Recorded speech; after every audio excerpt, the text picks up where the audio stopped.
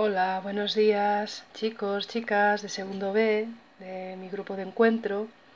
Y también hola a todos los alumnos de segundo A, del grupo de Merche.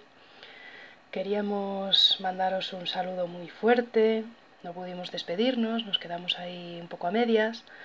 Pero bueno, no queríamos dejar pasar la oportunidad de, de mandaros unas palabras y compartir un ratito con vosotros. Mirar, eh, yo quería proponeros ¿no? una lectura muy breve. Es el Evangelio de San Juan, es el capítulo 14, versículos 34 y 35.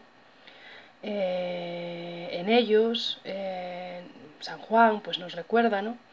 que Jesús nos, nos, dejó un mandamiento nuevo, ¿no? el mandamiento del amor, amar a todos como a, como a nosotros mismos, ¿no? y como Él nos enseñó. Y, en eso se, nota, ¿no? Que uno es cristiano y que, uno lleva al Señor consigo, ¿no? Es muy importante en el tiempo que corre, que, en el que estamos, eh, en el que nos dicen siempre que tenemos que tener la distancia social, mantenernos siempre alejados, no debemos de confundirlo no debemos de pensar que, tenemos que separarnos eh, emocionalmente, que tenemos que dejar de querer a las personas. Todo lo contrario. Cuanta más distancia social, cuanto más distancia física tengamos que tener con el resto de personas, más amor debemos de mostrarles y, y, más debemos de quererles, ¿no?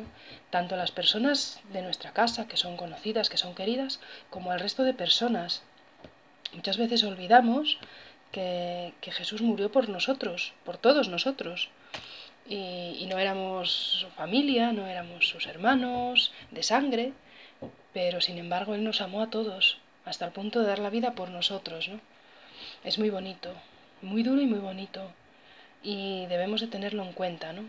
Yo os invito a, a reflexionar un poco sobre este tema, ¿no? sobre cómo nosotros podemos querer a los demás, cómo podemos ayudar a los que nos rodean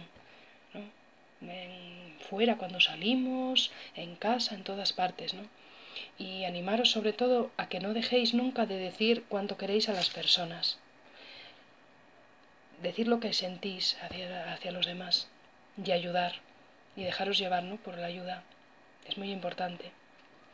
Y nada, eh, mandaros un beso enorme, enorme de todo corazón y, nada, que estéis bien, tanto vosotros como vuestras familias y, nada. En cuanto podamos volver al cole, ahí estamos, con más fuerza y más energía si cabe que antes. Y nada, besín, hasta luego. Hola, me gustaría mandaros a todos un beso muy fuerte y desearos que durante esta cuarentena todo vaya bien. Son días extraños, pero enseguida nos volveremos a ver y nos volveremos a abrazar. Mientras tanto, cuidaos mucho.